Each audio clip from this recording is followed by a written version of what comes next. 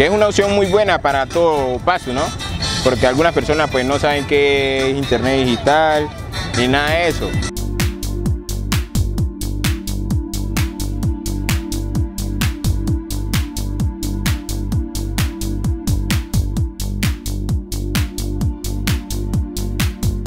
Uno puede agilizar en cualquier parte donde uno se encuentre un documento. Ya no tendríamos que hacer tantas vueltas. Ahora por medio digital lo podemos conseguir. Ahí mismo en unos 5 o 10 minutos lo podemos obtener. Me parece un, un proyecto muy bueno.